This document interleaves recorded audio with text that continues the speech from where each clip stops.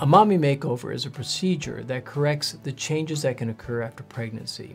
Usually this is some type of procedure on the breasts and or the tummy.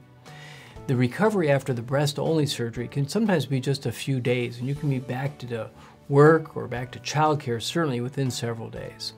If you have the abdominal surgery or a tummy tuck, that'll sometimes take the recovery out for several weeks, maybe one, two, or three weeks.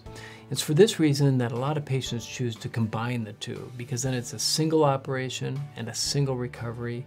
And as a mom, you're busy, you're busy with work, you're busy with kids, and you don't have a whole lot of time to get through surgery and recover. So getting the breast done and the tummy done at the same time really is an efficient and effective way to do that.